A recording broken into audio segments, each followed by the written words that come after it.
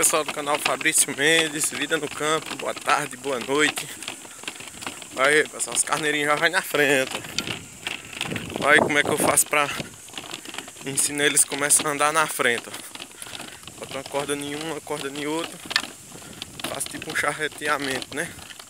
Aí na frente do cabresto deles eu amarro uma cordinha. Porque quando eu puxar esse daqui, ó, ele puxa o de lá.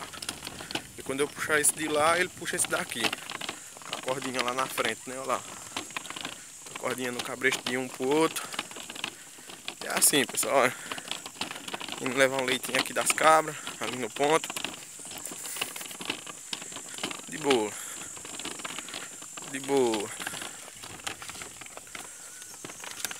Tá curioso. Ó, tá vendo? Eu puxo esse daqui, ó. Aí o outro vem, ó. Moda a cordinha que tá no cabresto. Ó.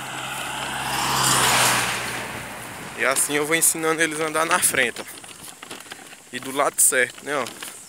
Subir desse lado e descer do outro. Por ó. De vez quando tá num futucão, que é pro bicho ficar ligeiro.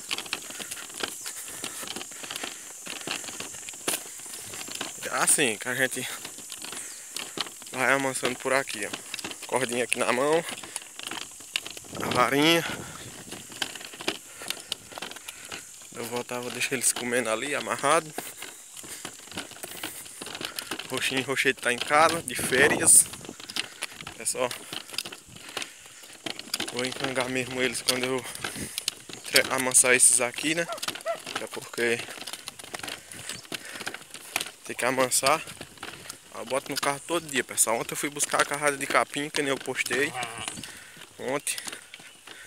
E de tarde fui buscar um saco de capim lá na casa do meu pai. E hoje de manhã já estão na canga de novo. Tá curioso, curioso. Hoje de manhã já estão na canga de novo. Se quer manso, tem que encangar todo dia, né? Tem gente que diz como é que eu amanso meus carneiros. Boto no carro e encango todo dia. Você encangar uma vez por semana, você não pensa que eles vão amansar igual deixar aqui não. Viu? Eles vão acostumar. Agora amansar não. Amansar mesmo tem que ser assim, ó, todo dia, viu? Vamos lá.